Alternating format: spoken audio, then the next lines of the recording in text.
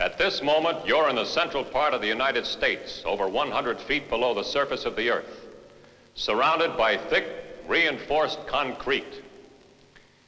In the event of an attack, this entire structure can be sealed, protected against penetration of radioactive fallout. Through those doors and around the corner is the operations control room of the Long Range Air Offense Force.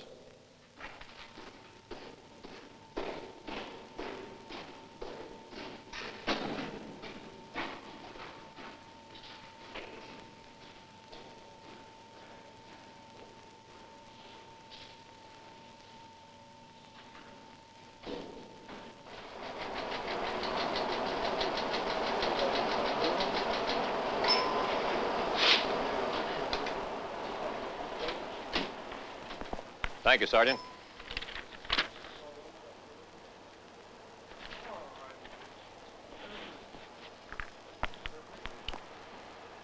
From this room, the force throughout the world is controlled and monitored 24 hours a day, in peace as it would be in war. This force is a combat-ready offense force. It is a deterrent force dedicated to the prevention of war, any war, large or small. This offense force is complemented by the Joint Allied Early Warning Air Defense System. Offense Control, Colonel Dawes. Good. Uh, recheck the weather in that area. The last forecast indicated thunderstorms. Right.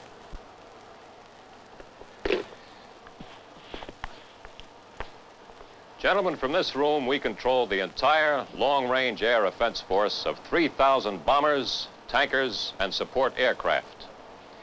It is a joint chiefs of staff force which is poised, ready to strike targets anywhere in the world, from bases in the United States and overseas.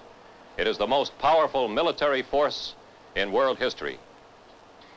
We are in contact with this force through the most advanced communication system ever built. It affords practically instantaneous communication with over 100 bases in the United States and our many bases overseas. Closed circuit television provides immediate information to the senior officers of the staff, enabling them to make vital decisions instantaneously. To transmit these decisions to the force, we have this red phone alert circuit. This circuit allows us, by merely dialing 10 digits, to seize or override all other lines and set up in a matter of seconds a conference call to the control centers on all our bases. All such conversations are recorded on these tape recorders here. Sitting over there are the controllers. For effective control of the long-range offense force, the world is divided into three areas. Each man controls the aircraft in a given area. This is a deterrent force with a primary mission of keeping a global war from starting. If we are to be successful in this mission, we have to have plans, plans of all kinds, detailed blueprints, so to speak, that have been worked out far in advance. These are flexible plans and can be changed to meet any contingency. Let's have a look at some of the displays. Andy, uh, take over here, will you please?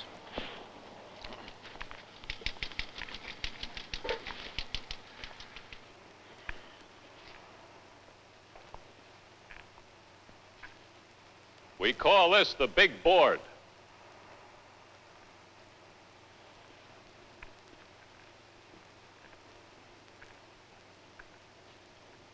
These panels show missions in progress throughout the world.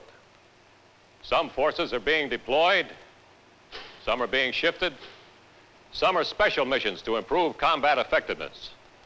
These missions are going on 24 hours a day, and averaging the high activity periods with the lows, we have 10 to 15 percent of the total force airborne at all times. To support this activity, an aerial refueling operation takes place every three and a half minutes. See these clocks here? Never before in military history has time been so important. But of course, our true mission here is to control this offense force. As I have said, it is a deterrent force. It's a force which we control in readiness to perform air strikes against an enemy. And in the event of war, when it would make these strikes. Sergeant, let's see plan war dance.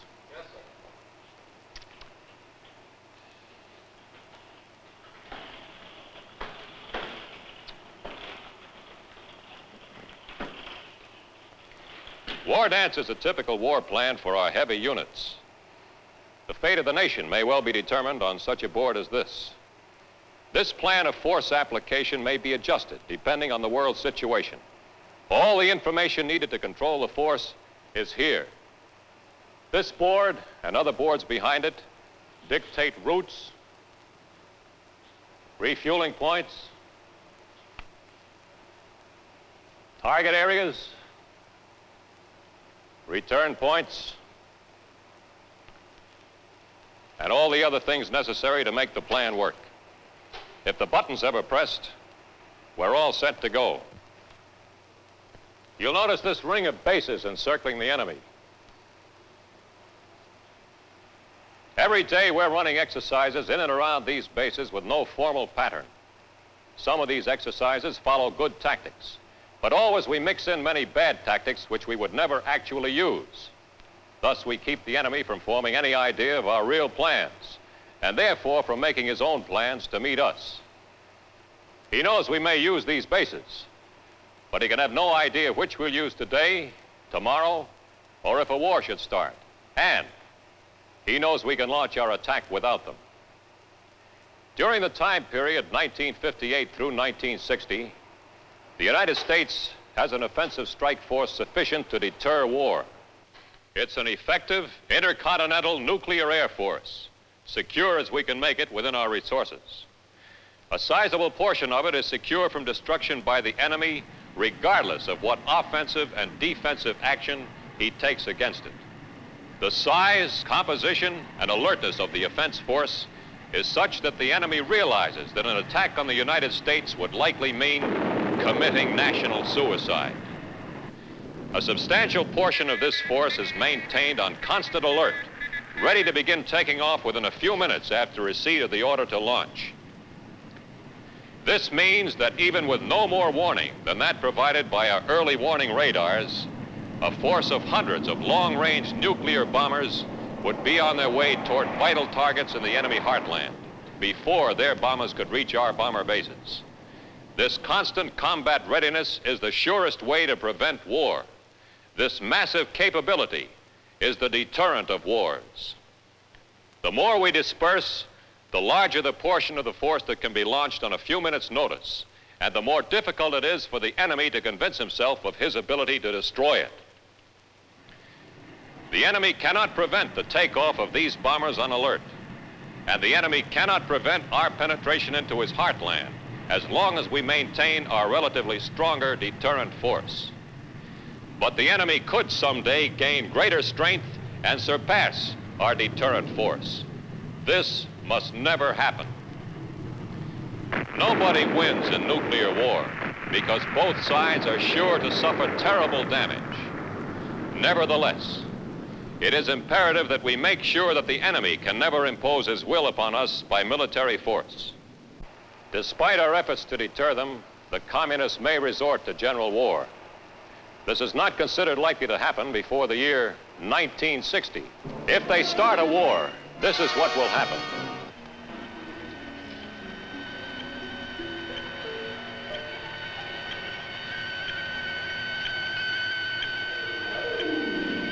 The early warning air defense net of the United States and our allies would pick up the first signs of unidentified aircraft.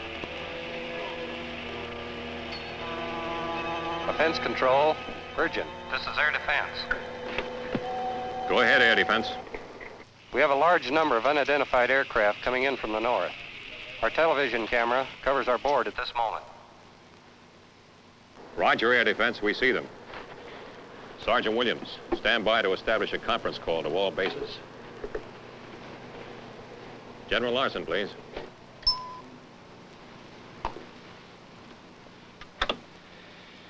This is General Larson. Go ahead. Sir, would you turn on your screen?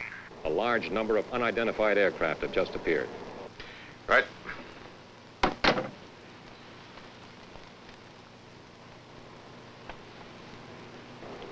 Go ahead, Air Defense. This is Air Defense. Large groups of unidentified aircraft have been reported at Baffin and Prince of Wales Islands and near Banks Island. Reports from Alaska indicate unusual activity in northeast Siberia. We're considering reclassifying these unidentified aircraft to hostile because of the unusual number and tracks. Air Defense, this is General Larson. Is your commander there? This is General Ryan. Go ahead. Jim, how does this look to you? I'm sure this is it, Dick, in view of the advance indication given us by Central Intelligence last night. More reports keep coming in all the time. We've just talked with our people in Alaska and to the Canadians. Both are picking up tracks. My crews are on five-minute alert. All our deployments have been accomplished. Our anti-aircraft missile sites are at full alert, ready to launch. How much time have I to get my aircraft off the ground? Our first check of their speed indicates you have about two and a half hours for your bases in the northern United States. That's a rough estimate, but I'll refine it as soon as we get a better look at them. That's close enough. I'm getting my people moving right away. We'll have a third of our force launched within 20 minutes. They'll be in strike configuration, but will not proceed beyond Applejack control line without further orders. Please keep us advised. Okay, Dick. Will do. Thanks, Jim.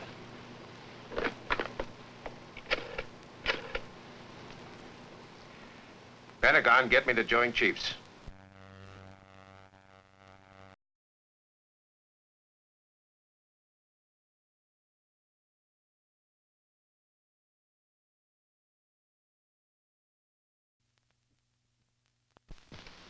Bill, the alert force can go right now under plan quick strike with positive recall. How much we can save depends on how soon I can give the execution. What are your orders? The President and Joint Chiefs are with me in the command post. Implement quick strike. Repeat. Implement quick strike. I'll forward the release from recall the minute a decision is made. And good luck. Thanks.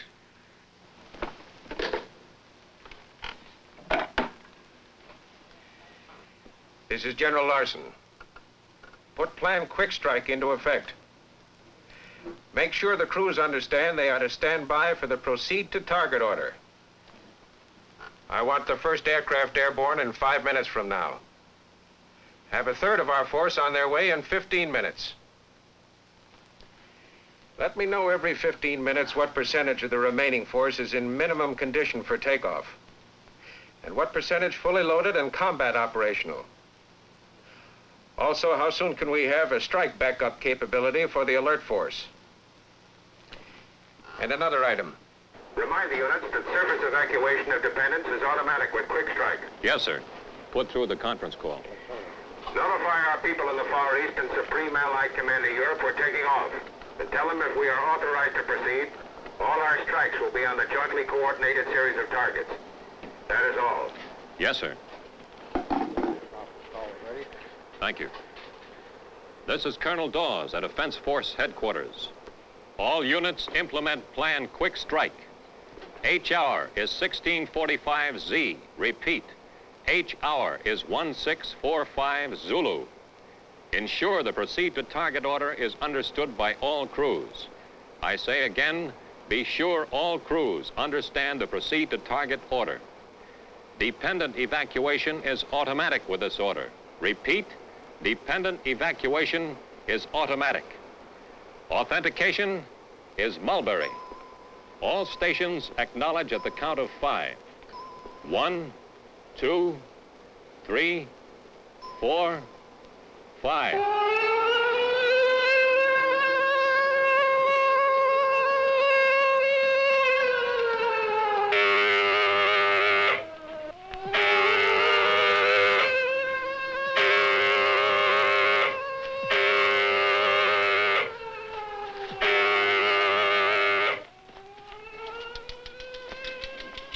Order quick strike has reached all offense force bases around the globe simultaneously.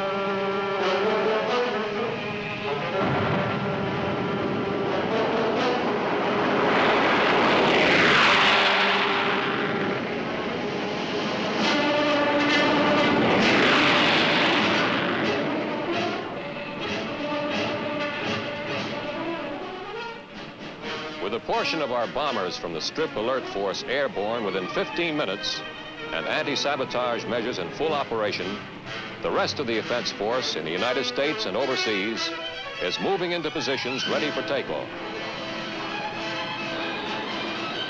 A key part of this offense force is the B-52, the Stratofortress, with its crew of six highly skilled men. All the hard, rugged years and 15-hour practice missions, often from Arctic areas, are now going to pay off.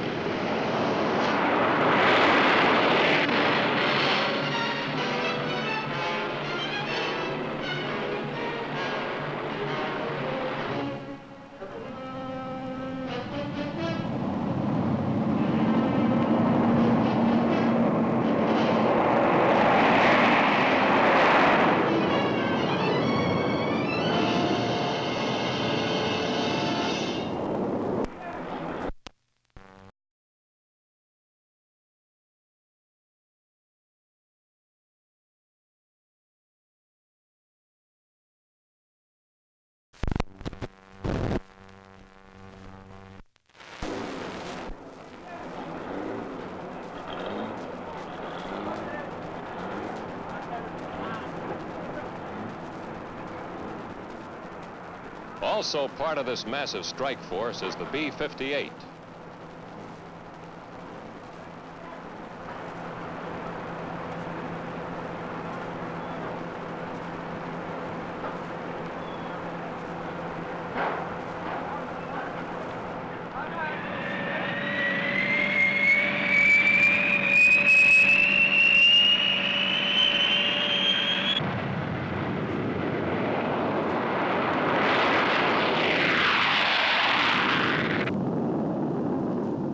The routes of all these aircraft, the B-47s, the B-52s, and the B-58s, have been carefully timed to take advantage of optimum tactics.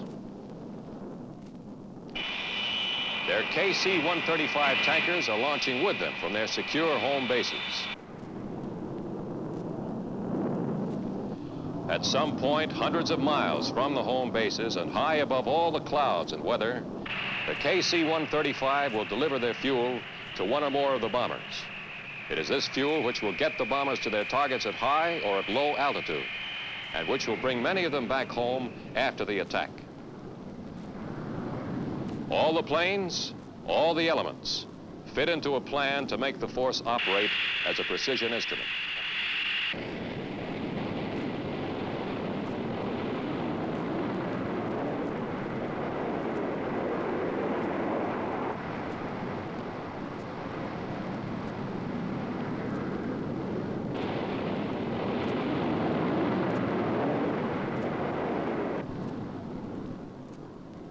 The alert force has been thrown into action, it can still be recalled, returned to home bases if the report of hostile aircraft proves false.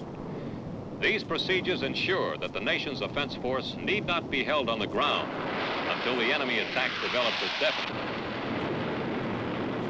Half an hour has passed since the first report of unidentified aircraft. In the control room, reports of the takeoffs and positions are being tabulated for the command staff under the supervision of the Director of Operations.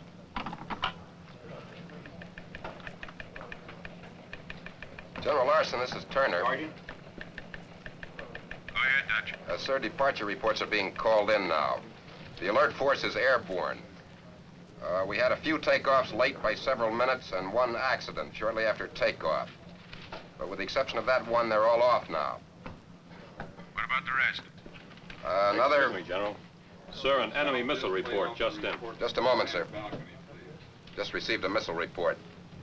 A missile believed to have been ballistic. Detonated 10 miles southeast of Lockbourne about three minutes ago. No damage to the base reported. Uh, this report must still be confirmed. All right. Now, what about that accident on takeoff? Uh, B-47 of the 16th Wing exploded shortly after takeoff. They suspect sabotage. The commander's checking the rest of his aircraft. How about the rest of the force? We're better off than I'd hoped because of that message you sent last night. 25% of our remaining force was capable of evacuating its present bases. A little less than half of these are ready to strike. Complete crew, weapon loaded, fuel and chaff loaded. Our tanker bomber ratio looks good. All right, get General Ryan at air defense. I'll be right in. Yes, sir. Air defense, this is General Turner at Defense Control. Go ahead, Defense Control. Is General Ryan there? General Larson would like to talk to him and look at your board. This is General Ryan. There's a camera on the plot board. We're switching over. Jim, what's the latest on those unidentified aircraft? We have positive information that they are Soviets. We've just had a report from a Canadian interceptor who made contact with six of them. We've picked up 75 on our radar screens, and I think we can expect a lot more. We estimate that they should get to your bases in about two hours. What is the status of your force? The alert force has taken off. I'm holding off the rest as long as I can to build up the maximum strike force. We got an unconfirmed report of a missile attack near Lockbourne. Do you have anything on it? Yes, we picked that up on one of our recorders.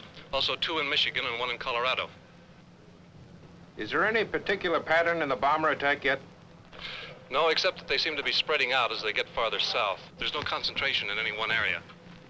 How soon are you taking off for your alternate headquarters? We'll stay until the enemy's bomber attack pattern is determined. They're not likely to hurt us here with a ballistic missile. Have you spotted anything faster than a bison? No, nothing except those ballistic missiles. General Bates, the vice commander, will be in command at Hillbilly, our alternate headquarters. He's on his way. We'll have to give the Soviets credit for picking this place as an important target and launching several bombers against it. I don't doubt that they can hit it. Please keep me informed. I'll let you know when I leave. Sure will, Dick. Good luck. Dutch, what's the status of our move to alternate headquarters? The aircraft and all personnel, except your key people, are standing by at base ops. Good. Yes? General? An orbiting aircraft reported that advanced base Blue Jay was hit by an enemy missile. Extensive damage appears to have been done to the two KC-97 squadrons there. Six other advanced bases report missile explosions, but no hits.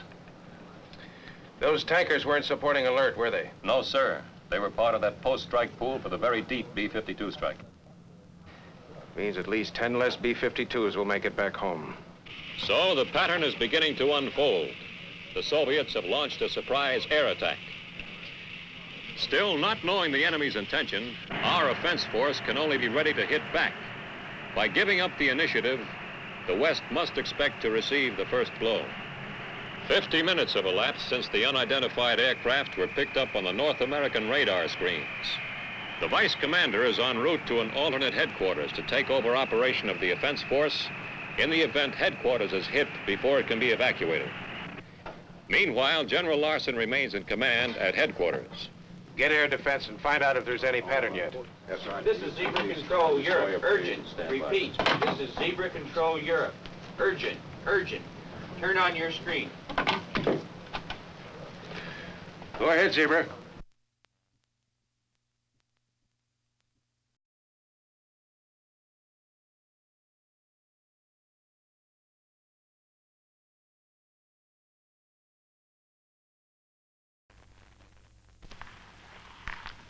We've just received reports that large groups of Soviet aircraft have been sighted over Germany, France, Denmark, the Netherlands, and Belgium.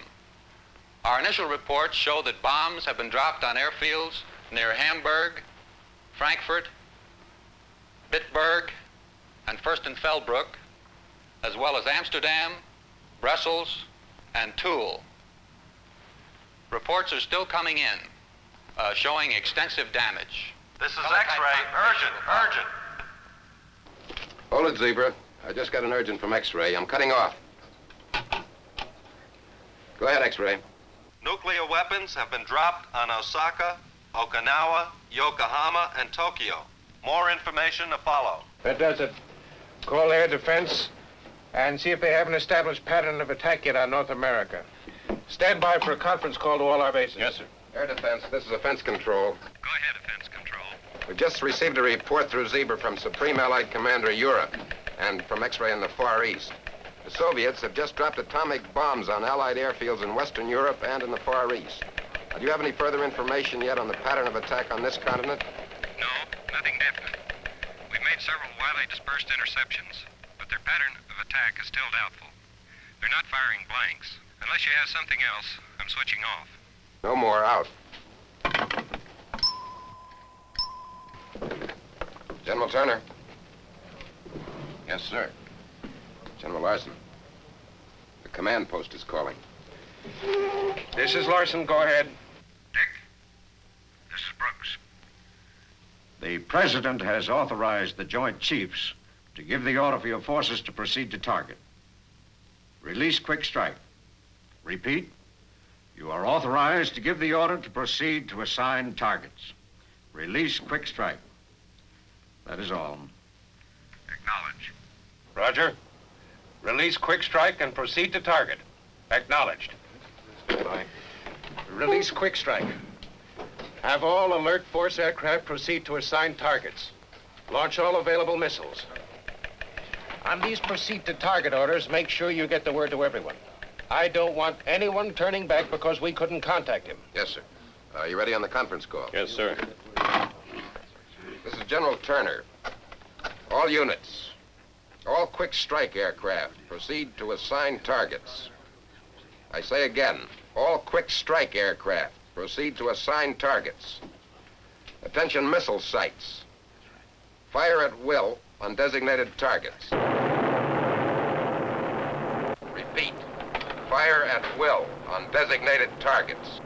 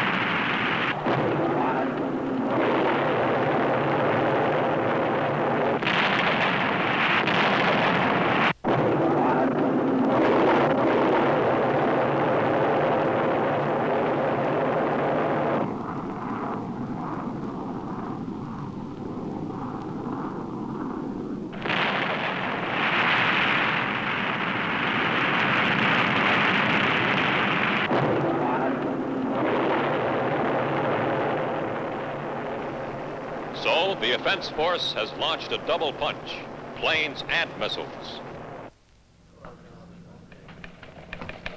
All coordinated by the senior controller and his staff under direction of the commander.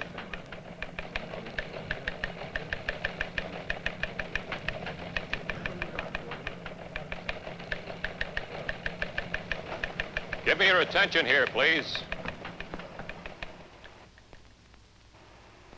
We have now released Plan Quick Strike. Repeat, we have now released Plan Quick Strike. Our missile sites are launching at will. I want to brief you, bring you up to the minute to be sure you understand the timing. An hour ago, the Alert Force execution order was issued. Fifteen minutes later, this force was in the air, headed for its targets. Ten minutes ago, we canceled recall procedures and released these aircraft to carry out their full war plan missions. The remainder of the force has been prepared for evacuation. It is now being placed in strike configuration and will be committed as part of the follow-through strike force as soon as orders are given. The bulk of the alert force took off from these bases in the United States to carry out their full war plan missions. These were the takeoff base areas for the forces in the United States. The rest were launched from overseas. Most of the aircraft already deployed to forward operating bases are tankers. Some of the medium bombers took off from intermediate bases. And from the United Kingdom, North Africa, Alaska, and the Far East. These aircraft will rendezvous with their tankers in these refueling areas. Refueling reports should be coming in within the next hour. Those aircraft taking off from forward bases will approach the Soviet early warning radar net, shown here by the dotted line,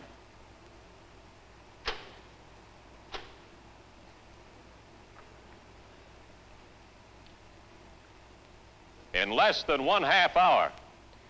Lead aircraft of these other attacking forces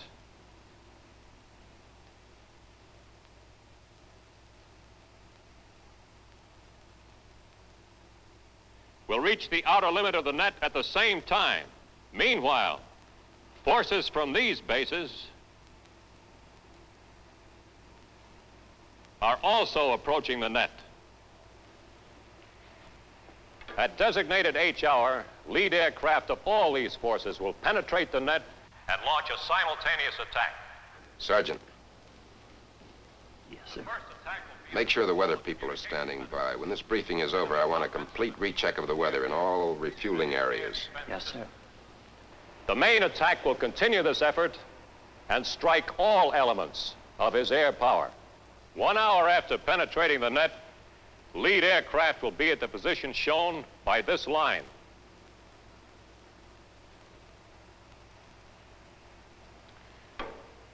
Remember, this is a bomb-as-you-go concept. Targets are bombed progressively. Shallow targets first, with the strike continuing to deeper targets. This enhances the penetration capability of succeeding waves. This pattern is essential because we are playing the Soviets' game.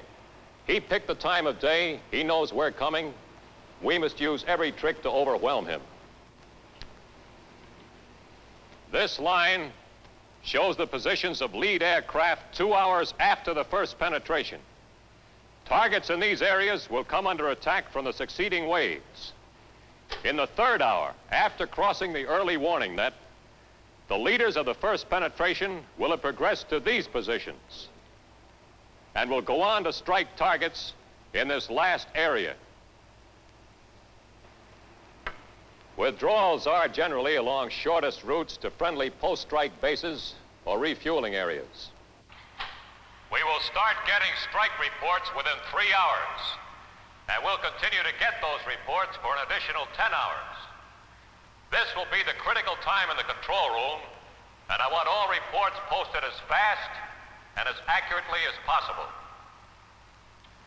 This concludes the briefing. Offense control, this is air defense, over. Go ahead, air defense. This is offense control. The hostiles are beginning to establish a pattern of attack.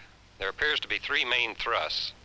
One in the northeast, one slightly east of center, and one in the northwest.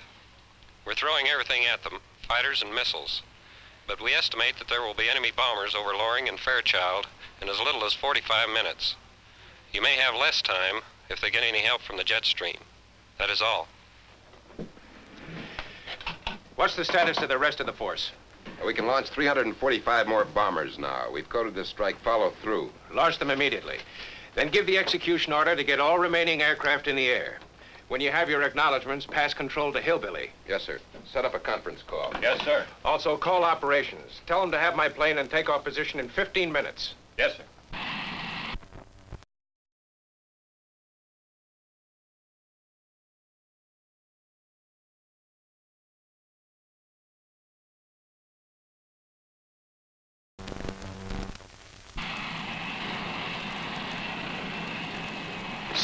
Bombers are equipped with weapons that can be launched several hundred miles from the target.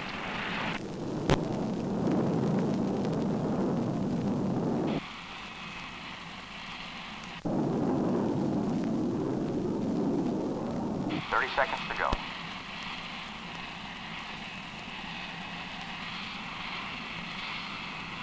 PDI right. PDI center. Offsets checked.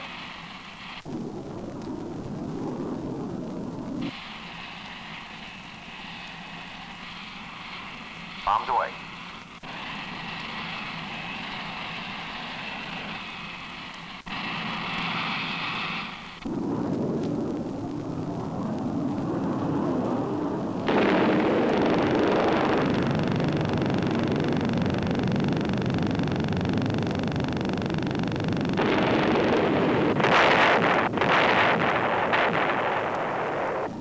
Members of our air offense force, singly and in small groups, are fanning out across the length and breadth of the aggressor nation, retaliating against Soviet air power and other war-making and war-sustaining resources.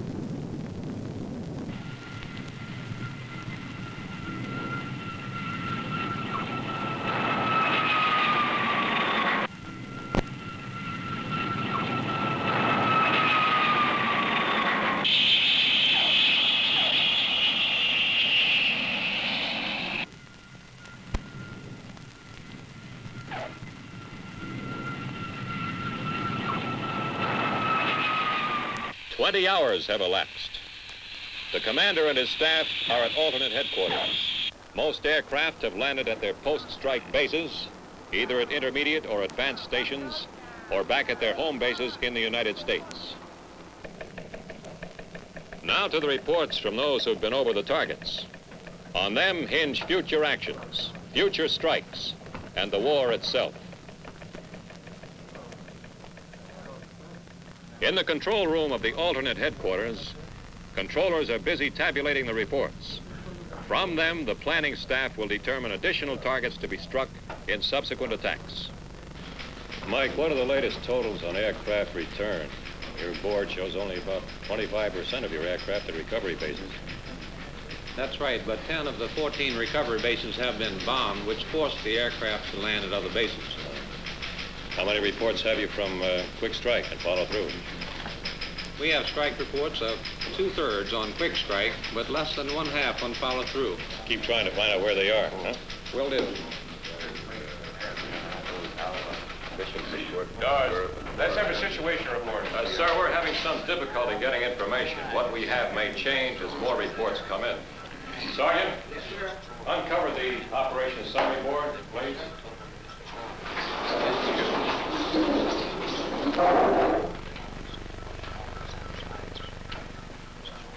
Total overall results so far are aircraft scheduled, 1,545. Aircraft airborne, 1517. Three target aborts, 62. Uh, strike reports, according to crew estimates, 1,219. Aircraft retrieved at recovery bases, 971. Known losses, enemy territory as of two hours ago, 93. Missing, 49. Uh, major battle damage to aircraft requiring three days to repair, 62. Now, the difference between the sum of these two figures and this airborne total is 453. Of these 453 unaccounted for aircraft, sir, there should be 53 B-52s still airborne. The missing figure is high because service communications in Europe and North Africa have broken down completely. We expect radio reports soon from individual bombers, groups of bombers. Crews may not realize that many of their reports aren't being forwarded. Thank you, Sergeant. Uh, sir, here's a report from Zebra. 43 B-47s and 15 B-52s were on the ground at Shotgun six hours ago. We had no previous report from there. Now, that may reduce our missing number to uh, 342. But, of course, we'll have to check the B-52 tail numbers to be certain. What action have you taken on those crews down in enemy territory? We have air rescue service on the way, sir, with sufficient aircraft to support our needs in every area. Uh, they've been sending reports in every two hours. Tell them I don't want reports. I want my crews picked up. Yes, sir. Uh, next, General, is the airbase status. Go ahead. Uh, in operation so far, we've used uh, we've used 121 bases in the United States and 42 of the available bases overseas. Uh, communications in the overseas areas are bad, but uh, these are the figures we have. Available bases in the United States, 72. In overseas areas, 67. Bases in use in the United States, 72. In overseas areas, 37. Uh, bases damaged in the United States, 20. Overseas, 20. This figure includes all missile sites. Uh, bases destroyed in the United States, 46. And in overseas areas, 16 known damaged. Uh, I beg your pardon, 16 known destroyed includes all IRBM sites. Our overseas data is unreliable, but we do know that there are two usable bases in North Africa, three in the United Kingdom, three in Alaska, five in Canada in the northeast area, and uh, two in the Far East. We're sure there are more, sir, but that's all we can back up with reports. How many tankers are operating from the Canadian bases? 73, sir. Well, let's not schedule any more bombers or tankers in there. They'll be looking for cripples for sure. Uh, pass that to operations plans and numbered Air Force controls. Yes, sir. What's your latest total on aircraft losses, Dutch? Uh, in addition to the 93 lost over enemy territory, we know we've lost 387 bombers, 237 tankers on the ground. Some of these had just returned from their missions. 258 of these bombers were B-52s. That's bad. But it's a lot better than it might have been. Sir, if there are no other questions, intelligence is now ready to brief. Go ahead.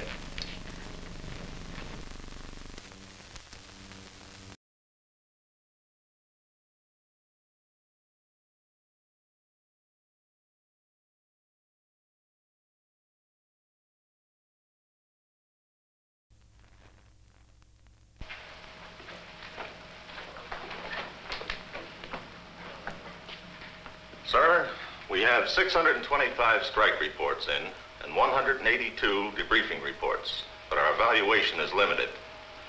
This is a summary of the majority of the targets we attacked on our quick strike and follow-through strikes.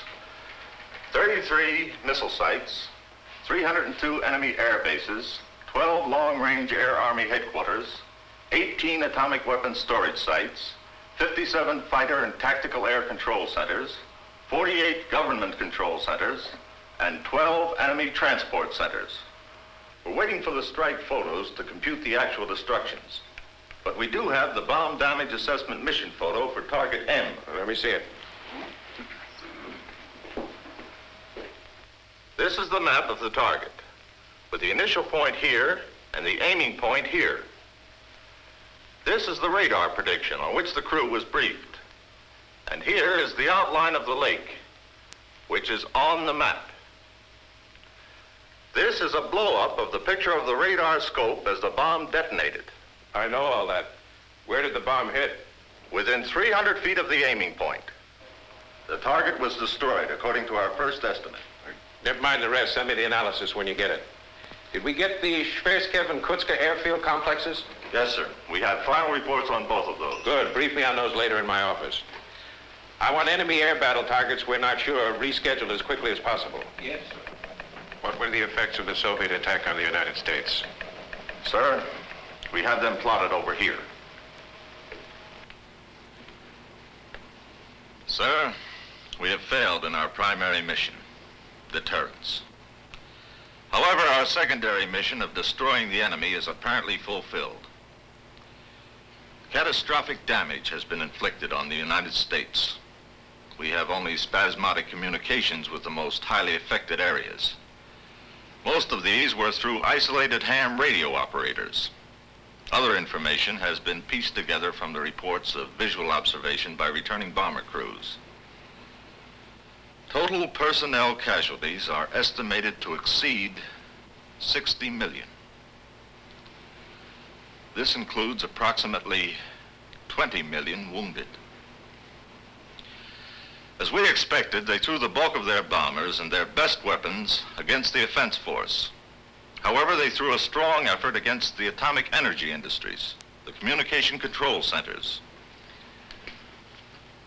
The New York, Pittsburgh, Detroit, Chicago, and Los Angeles industrial areas were completely destroyed.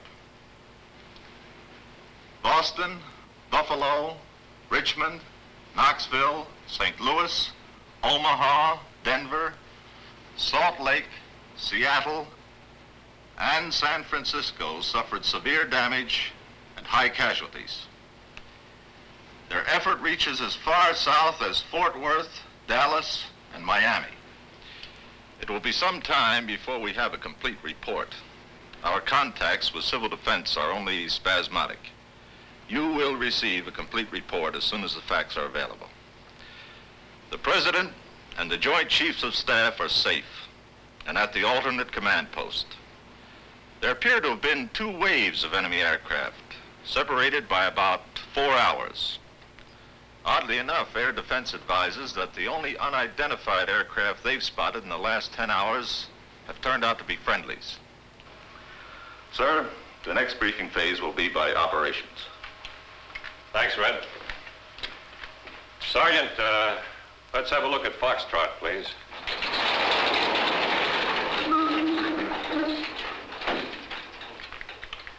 Sir, we're operating under Plan Foxtrot. The next attack is scheduled for takeoff in seven hours.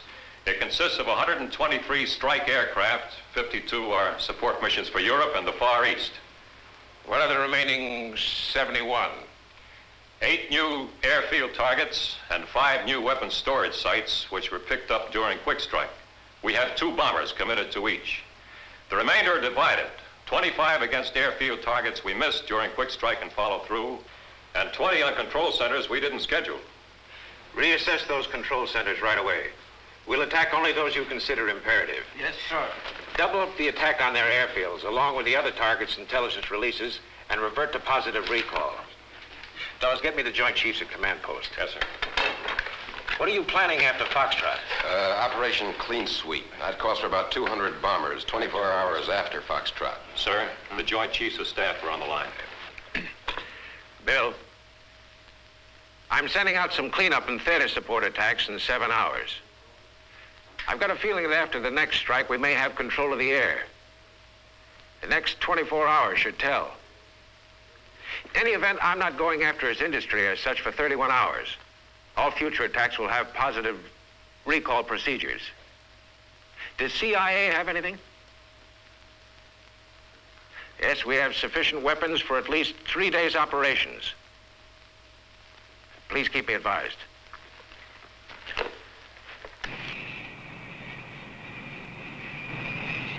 In war for survival, how soon can a nation surrender? When its military power is destroyed and its communications and governmental centers shattered, we must give him every chance, take every precaution to ensure that no bomb falls after he acknowledges defeat.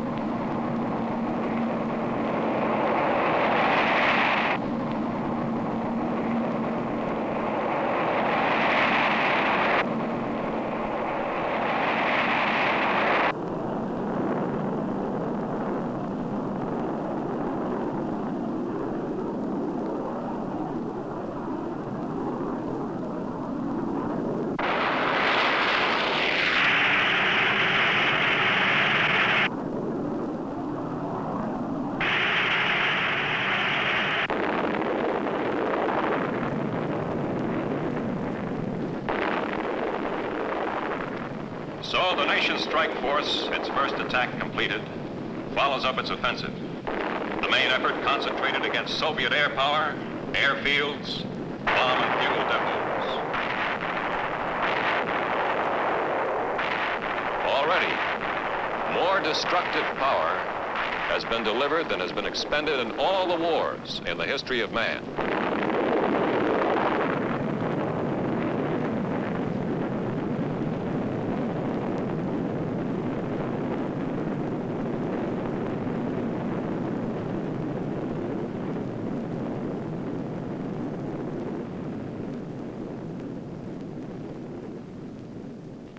time is now D-Day plus four. Four days after the first attack. Sir, we now have definite indications of our success in the air offensive. During the past 36 hours, no nuclear weapons have detonated outside of the USSR. Our attacks have reduced the Soviet Air Force to a handful of aircraft operating from substandard bases. These bases are being located and attacked by our reconnaissance bomber force. Here is our bomb damage since the first strike effort. Assessment. 100 enemy air bases attacked, 94 completely destroyed, and six heavily damaged. Only four bombers have been lost. These are believed to have been operational rather than combat losses. Central Intelligence Agency reports that 18 unofficial requests for ceasefire have been received by radio. Supreme Allied Commander York reports almost complete disintegration of resistance by surface forces. They must quit. They have no other choice. We have the air, we have the power. And they know it.